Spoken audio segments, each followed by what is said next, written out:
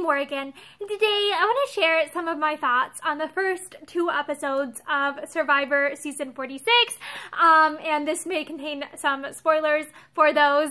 I am really loving this season so far. I love the cast. Like, there are just so many different personalities, so many different personalities. Bhanu is like my absolute favorite. I just, I don't see him making it very far in the game because he is very outspoken. Um, like, I love how he's a man who isn't afraid to speak about his emotions and stuff because I feel like in society sometimes like men are pressured to like be very stoic.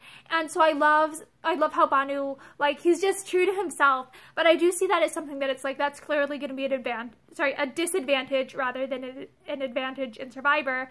And so like I, I just don't see him making it very far but he is like an absolute gem of a human.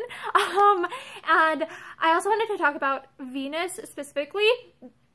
Like she is a very interesting person because she's being treated as like threatening because of her appearance. And usually in society, I think of people as having like pretty privilege or being treated better because they're pretty, but she's like the inverse of this where she's being treated like less well because of her because she's like conventionally attractive.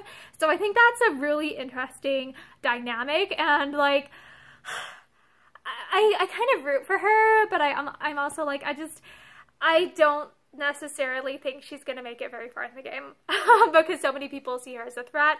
Another um another uh, of other castaways I want to talk about is um I love I think it's like Mo and Liz's interaction when they were sitting out and like one of the challenges in episode two, how they're just like complimenting like complimenting each other, and I'm just like that is so wholesome. I really hope that they both make it to the merge because like those two personalities, like I feel like they'd be best friends in real life. So yeah, I just I wanted to share some of my thoughts and I'm just I'm really looking forward to this season. I hope you're enjoying it as much as I am. Oh, I also wanted to say like the sound editing on the challenges is amazing because like I just I get so into them. Like I love the way that the music just it it it like hypes us up at exactly the right moments. So yeah, have a great day. Bye.